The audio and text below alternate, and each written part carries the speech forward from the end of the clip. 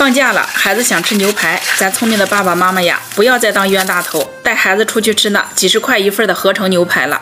咱们呢，可以学着自己在家做，一样的鲜嫩多汁，一点都不硬，口感特别特别好。现在呢，牛肉也不贵，我们这里才二十五一斤。今天爸爸买回来一大块牛里脊，这块的肉呀比较嫩，筋膜也少，做牛排口感会更好。今天买的这块肉呢偏薄，咱们可以斜着改刀，给它切成稍微厚一点的薄片儿。大概呢一厘米左右。如果感觉自己刀工不好，您可以给它动一下，那样就好切了。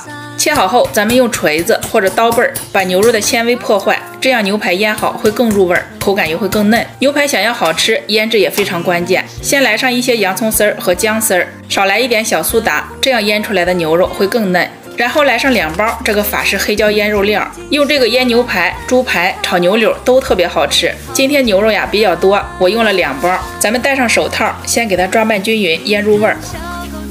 最后淋上食用油锁住水分，抓匀后呢，放冰箱给它腌制两小时以上。还是老样子，咱吃不完的，用保鲜膜一片片包起来。装到盒子里，放冰箱去冷冻。想吃的时候呀，自然解冻煎一下就可以。这个牛肉腌出来比较嫩，也比较容易熟。一面煎变色，翻过来再煎另一面。这时候家里有黄油的可以来点，再煎上两片菠萝，菠萝煎一下特别好吃。煎到这样，两面变色，基本就熟了，也就一分钟左右。牛排煎出来呢是全熟的状态，这样煎出来的牛排呀是又香又嫩。孩子说呢，比外面西餐厅的都要好吃。